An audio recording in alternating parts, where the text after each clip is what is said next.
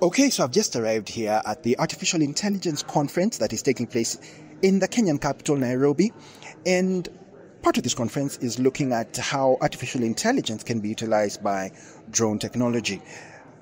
I can hear a speaker up at the podium. There is an area where speakers are making presentations, as well as an area where there are exhibition stalls and different companies are displaying their wares. I can see some drones on display here. And uh, I think I'll go and have a look and also speak to some of the speakers.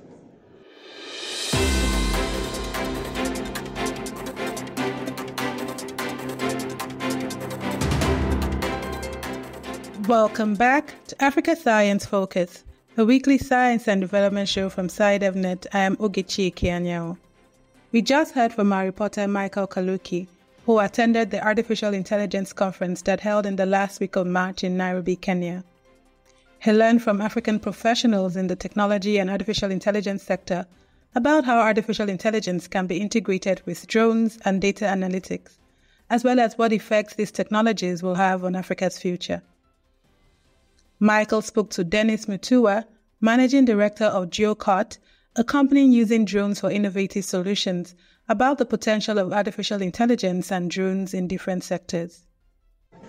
Right, so I've been walking around the exhibition area and I've come across an exhibition stand here that reads GeoCart. Um, there's a gentleman who's standing here. Perhaps I can speak to him. Hello, sir. How are you? Uh, I'm good, thank you. Now I see a number of drones sitting on the table here or lying on the table here at your exhibition stand. Um, you know, primarily, what are drones used for on the continent?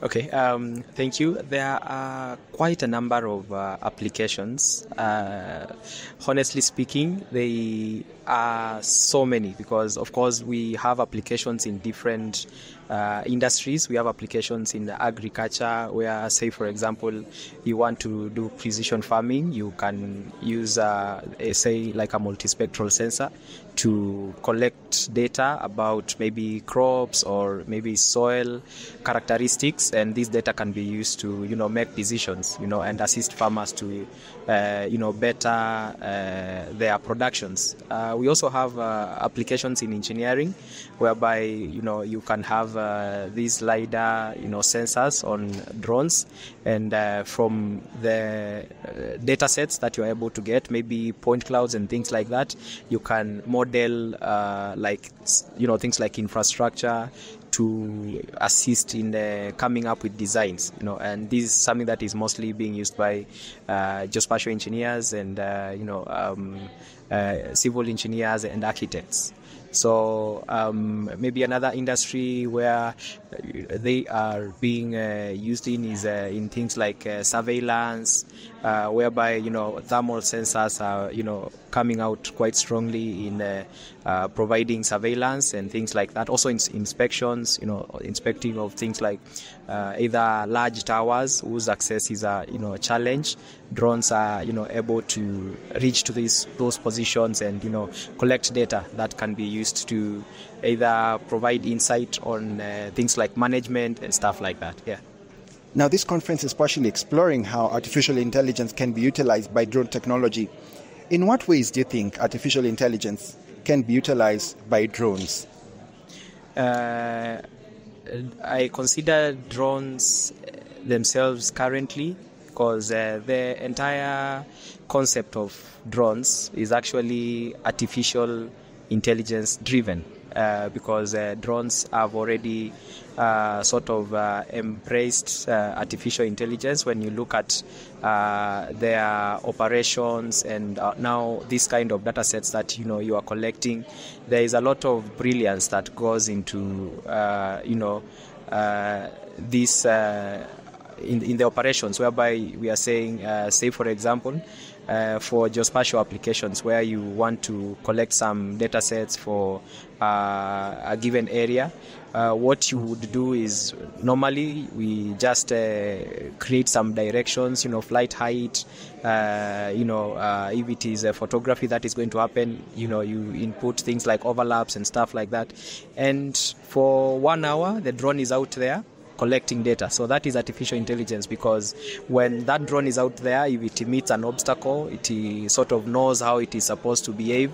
Is it supposed to go up or low, or you know how to avoid it? So artificial intelligence it's is at the core of drones themselves. Yeah. Yeah. Now, I saw that one of your drones is turned on. I was just wondering if perhaps um, it has an interesting sound to it. Uh, just to say, I mean, when these are flying around a farm, so it sounds like a little buzz. Yeah. Um, one might almost mistake it for, you know, a, a, a, swarm of bees. Does does it get people up on the farms? You know, when you are using them in areas where there are farms, you know, sometimes people think, oh, there's a swarm of bees coming along. It's a very interesting question actually, because uh, actually in Tanzania, drones are referred to as uh, ndege nyuki. Ah, that's in uh, that's Swahili, and if a direct translation means uh, birds, bees bees. Yeah, yeah buzzing bees or birds bees. Yeah, yeah, yeah. So uh, of course uh, there is a issue of uh, the noise that is produced by the propellers as you know they go round and round, and uh, that is what is responsible to that whirling, you know, buzzing sound that we get to hear. Uh, of course uh, it doesn't have any direct impact unless you are uh, mapping an area where there are either, say, uh, either animals that would be inter- you know interrupted by that, or there are programs. Say, for example, uh, it's an animal farm, and uh, they would be maybe affected by that. But in on most most of the times you find that where you are providing or you're trying to collect this data, it's in coffee or tea farms, and uh, in essence there is no effect at all. Maybe just people getting curious at what is happening and stuff. Yeah. Dennis highlighted the potential of artificial intelligence and drones in agriculture, engineering, human resource management, and other fields. Michael also spoke with Bright Mawudor, regional lead at Crystal Intelligence, a blockchain firm who explained how artificial intelligence and blockchain can work to shape the future of African businesses. Right, so I've just met up with one of the speakers here at the conference. Bright, what do you think is the importance of AI, artificial intelligence, for the continent? Um, artificial intelligence right now, a lot of people have been uh, looking at it from a bad perspective, thinking that it's going to be have a negative impact on their jobs and everything. But there's so many benefits for, for AI to be implemented into the, the space where we can see AI to be able to help us automate a lot of processes. Mundane tasks that we've been doing can now be automated. We can actually use AI to be able to have predictive analysis of uh, determining how our business will be in the near future. For example, if you take somebody who sells particular kind of goods and services, you can use AI to be able to actually predict what will happen in the near future um, and be able to see how to make sure you can have better return on investment. So there are various many ways to be able to make sure that we get um, to know get the best out of it. Um, and in the continent, we have a lot of data. We have too much data that we don't get to use. We need to be able to use AI to be able to make sure that data makes sense for us to be able to have informed decision making. Now, this conference is partially exploring how AI can be utilized by drone technology. In what ways do you think AI can be utilized by drones on the continent? And what significance or impact would this have for the future of Africa? If you look at drone drone being used in the, con- in the continent, a lot of people use it for fun to make sure they can actually take you know pictures and videos, but also this can be it can be used for intelligence. Uh, drones can be able to actually p- take pictures of places, um, or even in a battle, they can actually be able to see um, to take to make um, make some sort of information about a particular terrain, or see there are human beings or people hiding in bushes or particular places, right?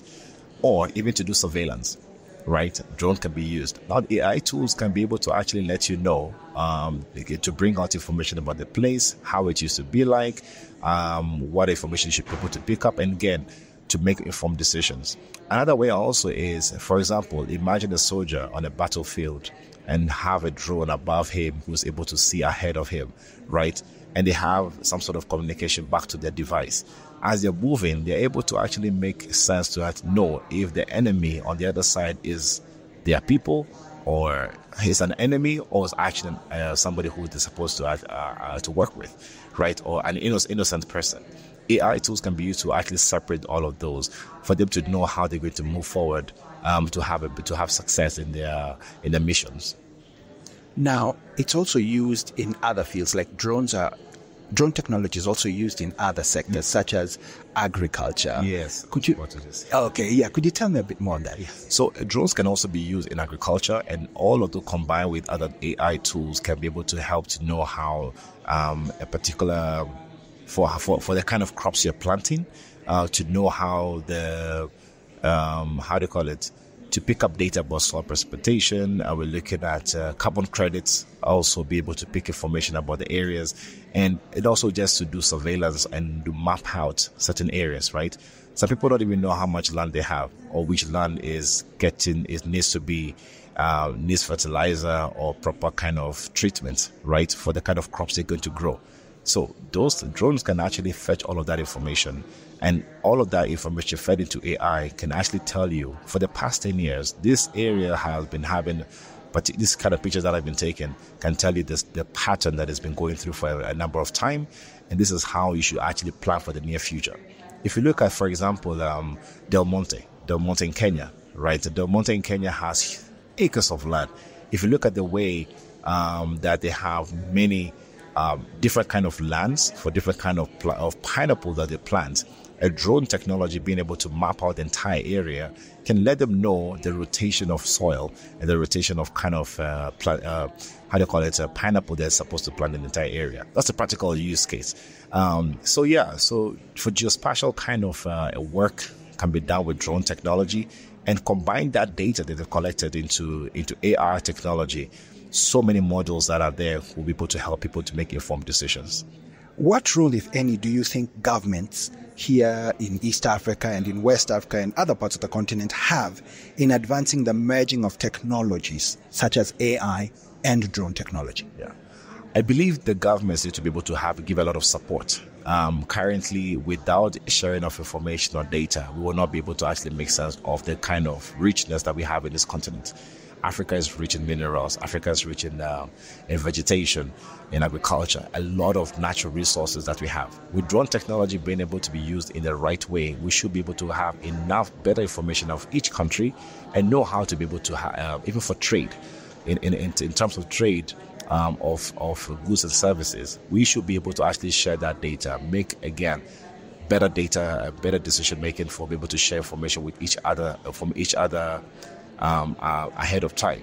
So also gets to um, contribute to the, the, economic development of the country, employment to be created, um, the GDP of the country will, will be able to go high as well.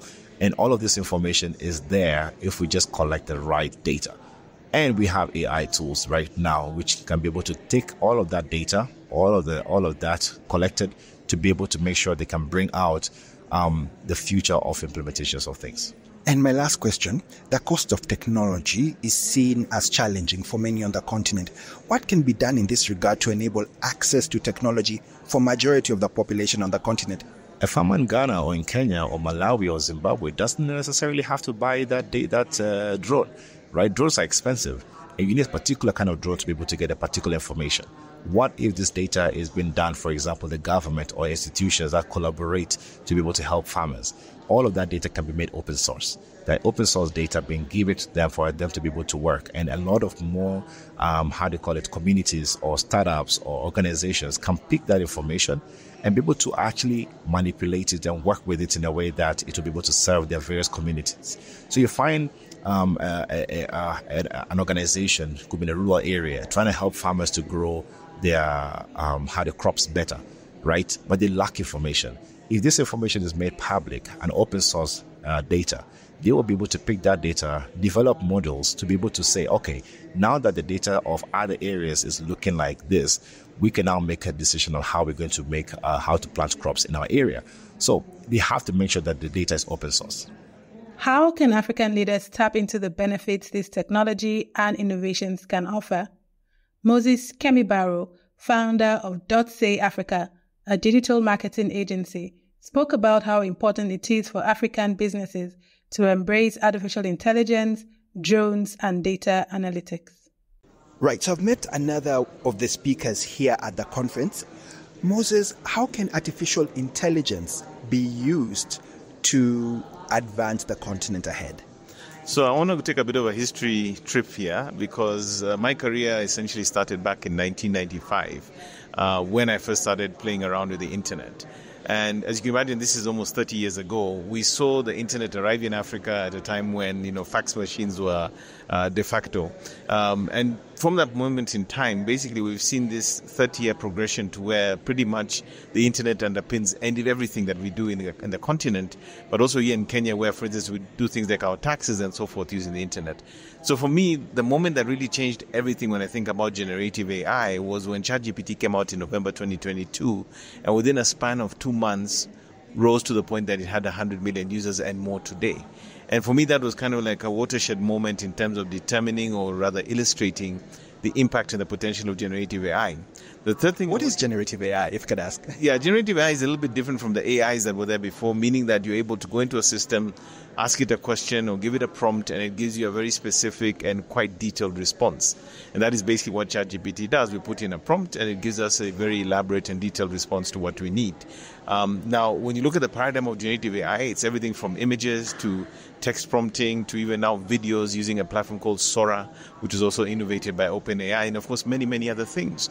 But the interesting thing about generative AI, and this is really important, is that last year, uh, a statement was made by Jensen Huang, who was the CEO of the company called NVIDIA. And NVIDIA happens to make the processors or the chips that actually run most of the uh, AI platforms. It underpins actually the infrastructure that is generative AI. And he said that generative AI is going to be bigger than the internet in itself. Now, if you can imagine that someone like myself, whose entire career, almost 30 years, has been on the internet, is now being told 30 years later that there's a bigger technology than the internet, for me, that is profound for Africa. I see an opportunity to shift the paradigm, to level the playing field. We are, of course, very far behind from North America and other markets where innovators are creating things on, on, on AI but it also gives us an opportunity to probably reset and actually move forward in the way that we saw, for instance, mobile technology did for Africa. Now, if we can find a way of putting African content, African data sets, and African insights onto our own African large language models and other foundation models that contain things that are inherently from our markets and our countries, we think that AI can be hugely transformative. And there's so many use cases because generative AI is a cross cutting technology. Everybody's using it from things like you know medical diagnosis, uh, all the way through to education, uh, to finding ways of improving manufacturing processes, uh, to create ways of people who don't speak their language being able to communicate in real time. Um, it can work in many, many instances. Uh, and generally speaking, I think it's probably the biggest opportunity that we are seeing in Africa since the internet itself 30 years ago. What role, if any, do you think governments have in advancing merging of merging of technologies such as AI and drone technology? Well, obviously, one of the things that is important in this area is regulation. And I think already in the conference, we had a lot of pain is happening locally in Kenya where uh, many of the drone operators and companies in this drone space are saying that the licensing regime is a bit too uh, punitive, that it's difficult to operate the way it's currently being done. Um, you know, the need that um, even to use some of the most basic drones, you need to have very specific licensing, which sometimes is difficult to obtain. Um, we also see that when it comes to uh, you know, emerging technologies like AI. There was this new bill that they were proposing to pass. Uh, it had a lot of um, uh, inconsistent and potentially damaging areas in that uh, particular law. And this is Kenya. Yeah, this is Kenya specifically. Uh, but we definitely see across the continent that regulation is going to be key. We need to make sure that our our, our laws and um, uh, you know um, regulations around these areas are inclusive, that are cognizant of best practices globally, um, that take into consideration innovation, but at the same time within uh, sort of safety measures and you know, with the guardrails in place, uh, so that again it just doesn't go out there and it's not done without any supervision. So finding that balance is going to be key. But my biggest concern at this point in time is that when you look at some of the initiatives happening, let's say in Asia, in Europe, in North America, um, Africa is at a very, very big risk of falling behind in this AI race because if our regulations and our governments are not as proactive as they need to be, we potentially could be a casualty of AI itself. So, not just in terms of regulatory capabilities, but even providing the enablers to sort of drive the adoption and put in the right policies and and laws that are going to actually encourage uh, a flourishing of you know entrepreneurship, for instance, or even more importantly, making sure that government itself is at the very forefront of adopting some of these technologies to streamline how they operate. So, Ren, we've seen in, in, Europe, we've seen in North America, in parts of Asia, very progressive, very um, inclusive laws and regulations that are actually driving um, the growth and catalyzing the uptake of these technologies. We need to see the same thing happening here in Africa. Next, Michael spoke to Nancy Kinyua, head of geospatial engineering and data analytics at Statsspeak, a data and software engineering company. She tells us how she integrates artificial intelligence into her workflow. So I've been walking around the exhibition area here at the conference and I've come across another exhibition stand and it reads Statsspeak. Yeah, uh, there's a lady standing here. I think I'll get the chance to speak to her. Hello, how are you, madam? Hi, I'm good. How are you? Fine, thank you. What does Statsspeak do? Uh, Statsspeak is a data and software engineering company. So what we do is we work with organizations, we partner with them to help them get uh, the most out of their data, uh, starting from either collection of data or using what the data that you already have, and then we kind of uh, bring in analytics, whether it's uh, ex- advanced analytics or just simple analytics to be able to give you insights, whether it's through dashboards or through um, reports. So, do you utilize artificial intelligence?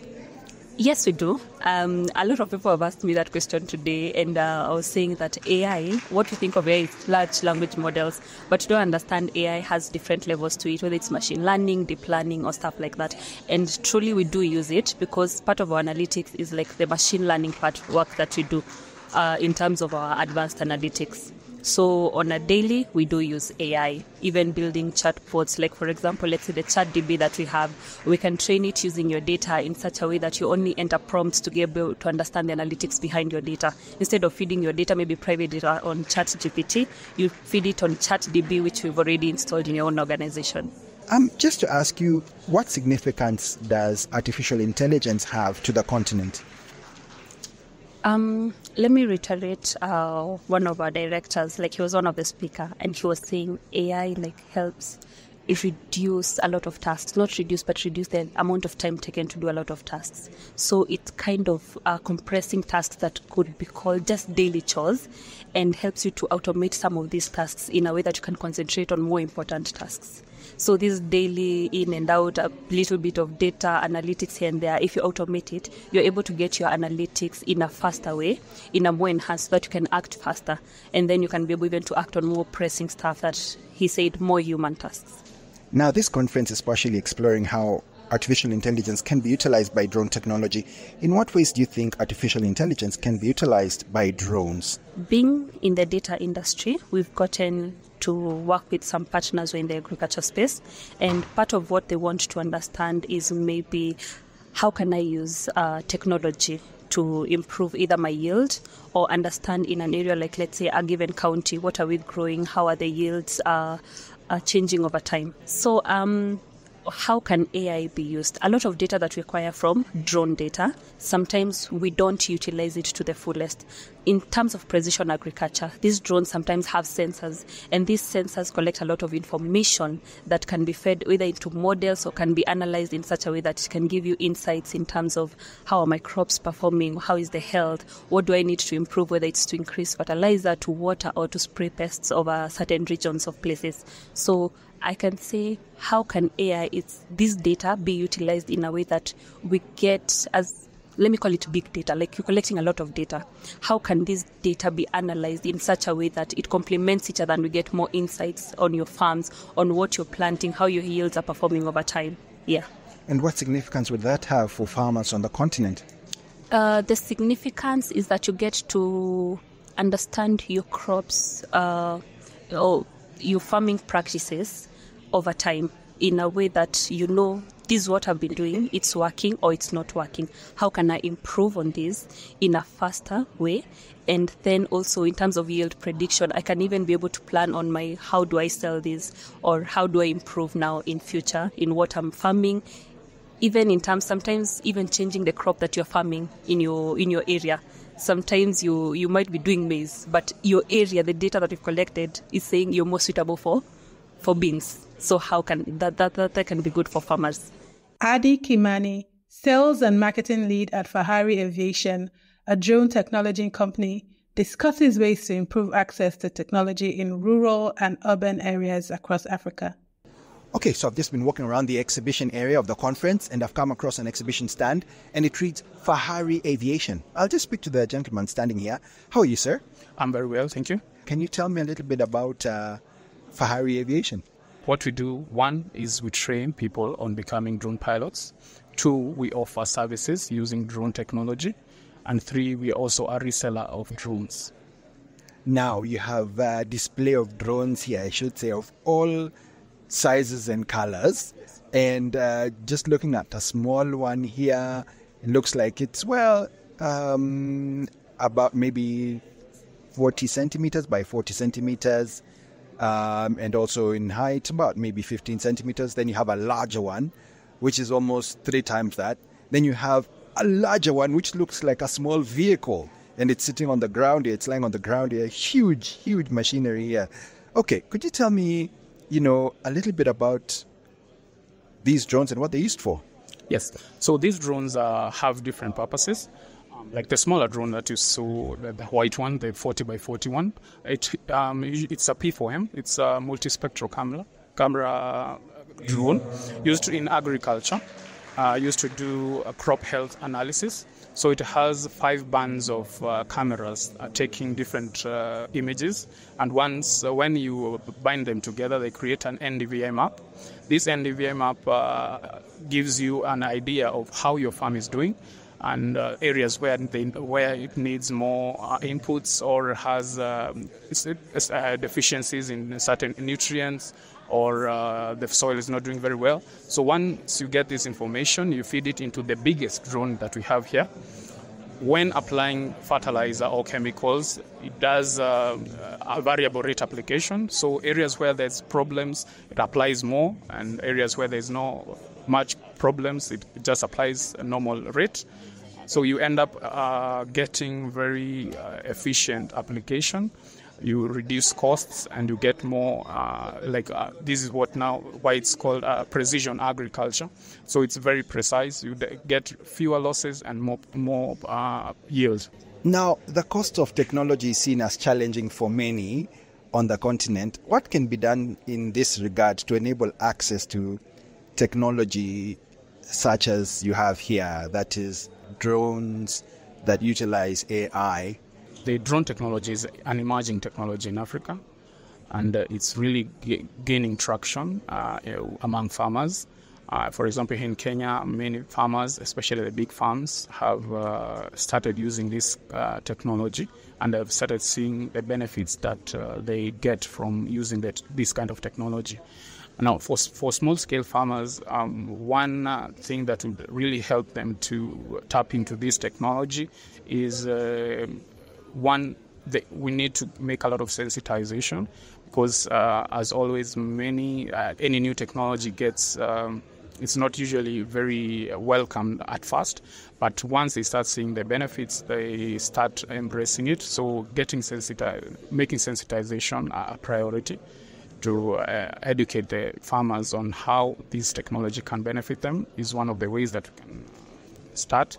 Then, second, also is uh, maybe having um, the organizations or cooperatives that have uh, these farmers are usually part of. So congregating them together and having them come uh, together as a group so that these services can be offered to them as a group. Maybe if there's an area that does just does tea farming, so the small scale farmers can come together, and uh, so that it makes it more cost effective when these drone technologies is uh, used in their farms we can come and do a huge chunk of land belonging to different farmers, small scale farmers, makes it very cost effective for them. And at the end of the day, they end up getting returns on their yield and their investment. That's all for Method Africa Science Focus today. If you want to find out more, head to the SciDevNet website. That's www.scidev.net. Today's show was produced by Alice Hurst, with editing by Titi Lokwe and Ogechi Kianyao and reporting by Michael Kaloki. I'm Ogechi Kianya, and until next time, it's goodbye. Africa Science Focus is produced by SciDevNet and distributed in association with your local radio station.